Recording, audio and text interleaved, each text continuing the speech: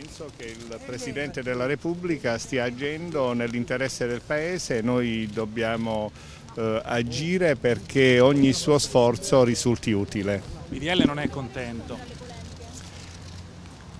No- non so cosa dire. Ciascuno diciamo, sceglie le proprie mh, felicità e decide. C'è chi ha parlato di golpe bianco con questo strumento dei saggi. mi pare che sia una grande esagerazione, forse è proprio il caso di smetterla con le esagerazioni partendo dai problemi reali che abbiamo di fronte e che riguardano eh, migliaia e migliaia di famiglie del nostro Paese.